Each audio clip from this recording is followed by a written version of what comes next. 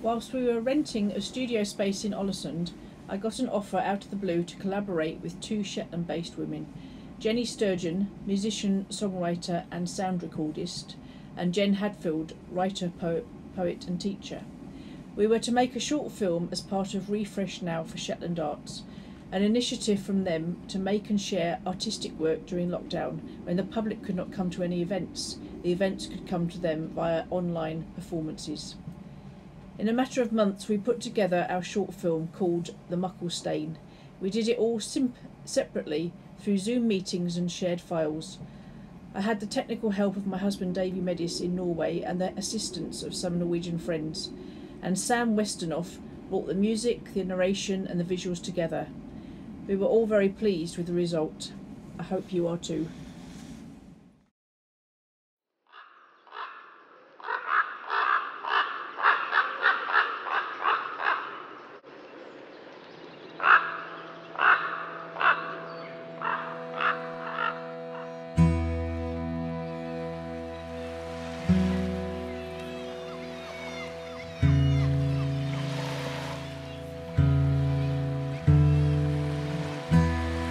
Way back when, when the pebble in your hand was still a mountain, a muckle stane rolled down from the hills to live with people.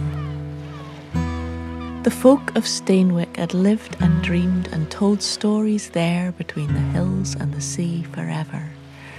But nothing like this had ever happened before. If it had, they would have told you about it. Because there was nothing they loved more than a story. You could stop on the street just after breakfast to tell someone about a dream you had and still be telling them at lunchtime. They were just fine folk who let time take its time. If there was nothing to say, they talked about the weather. Fine day, they said to each other, if it wasn't windy or rainy, which it very often was. If anyone had a problem, they met in the street and talked about it. Someone always knew how to fix it. And if you had a question that nobody could answer, you climbed up into the hills and asked the rocks, the fog, and the ravens. And if you still didn't know what to do, sleep on it, the oldest woman in the village would say. And you did. And most of the time, it worked. One day, the shopkeeper put a clock in the shop window. What's that for? asked the postie. It tells the time, said the shopkeeper. Look, it's five minutes past nine. What does that mean? said the postie. It means I'm late, said the shopkeeper, and she opened the shop. The funny thing was that as soon as they knew what time it was, folk felt busier than they ever had before.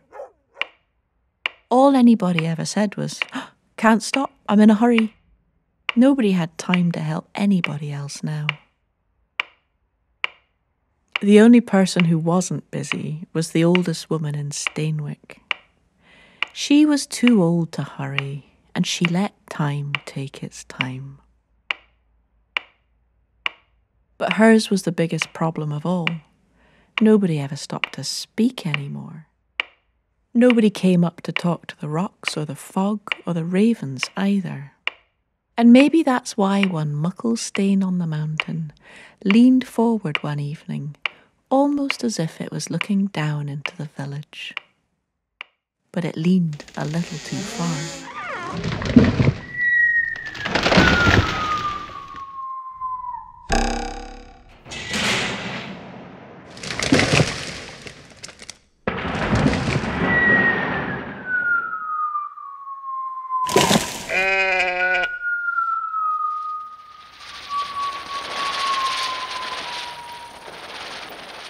Just as the sun came up, the muckle stane rolled down the street and stuck fast between the net shed and the post office. Soon it was time for the villagers to get up.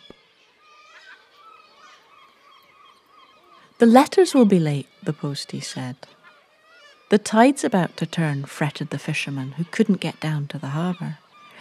I have to open the school, said the teacher. How else would the children learn to tell the time? We'll have to blow it up, said the quarry woman, sizing up the stone and working out how many sticks of dynamite she would need. We'll have to shove it out the way, the postie shouted back, rolling up his sleeves. Better sleep on it, said the old woman. But they weren't listening. They puzzled, complained, and worried until the sun went down, and then they all went back into their houses and shut their doors behind them. The old woman's legs weren't strong enough to carry her up into the hills. Better sleep on it, she said. She curried into the rough rock. She pulled the fog up around her neck and she started to snore.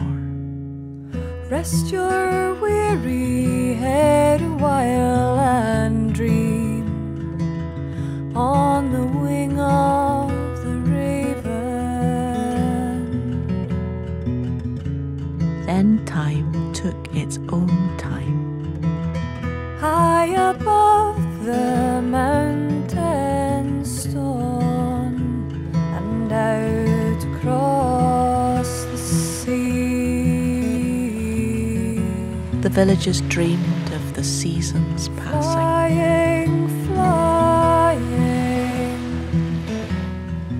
pair of ravens flew down from the mountain. Flying, flying. Back and forth they visited the stone with beaks full of sticks and wool and rubbish they'd found on the beach. Flying.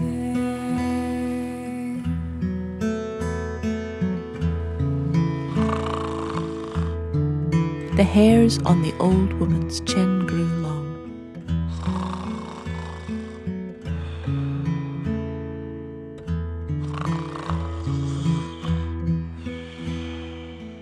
villagers dreamed of the years turning.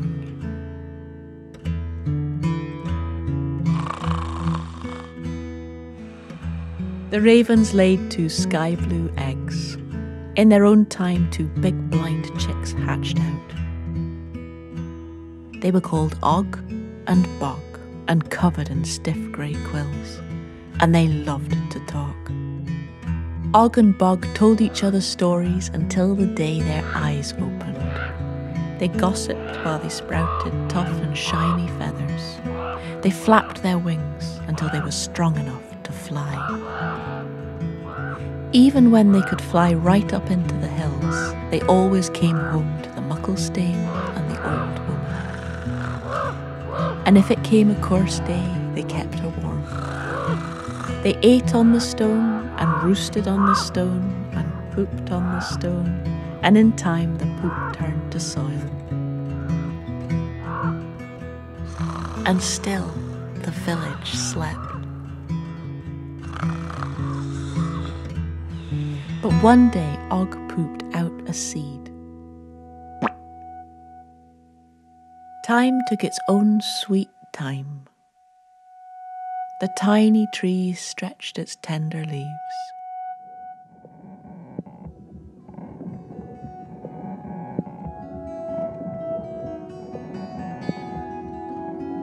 After a few years, it gushed out blossom. The seasons passed. The old woman snoozed in the shelter of the stone. In summer, blossoms fell from the growing fruit. The muckle stane cast a cool shadow over the old woman. In autumn, the fruit turned to nuts. Dry old boughs fell, and new twiglets grew, spring after spring, until Og and Bog were old birds. And still the villagers slept, until one day there came an enormous storm.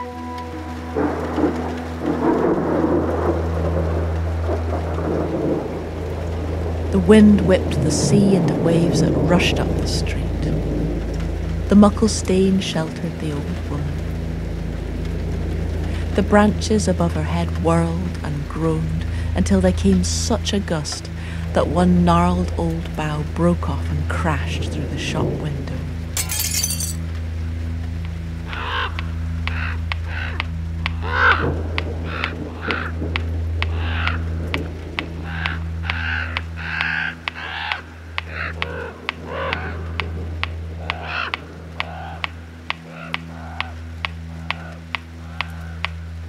Bog flew out to where the sea was deepest and dropped the clock into the waves where no one but sea creatures could hear it ticking.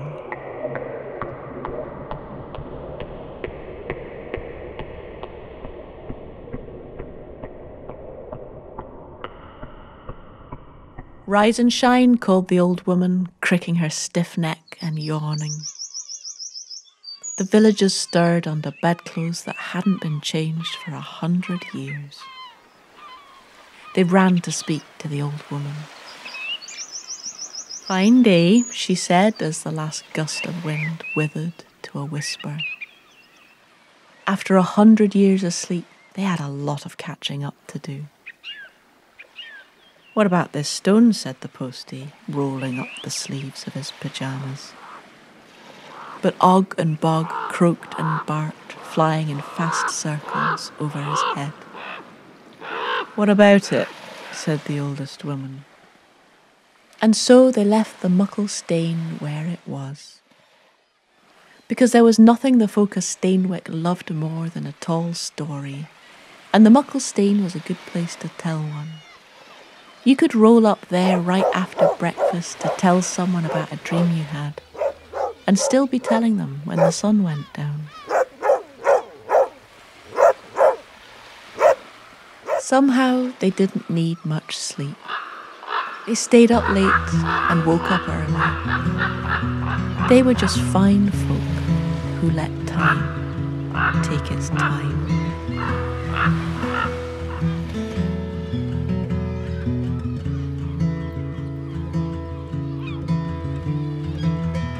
Rest your weary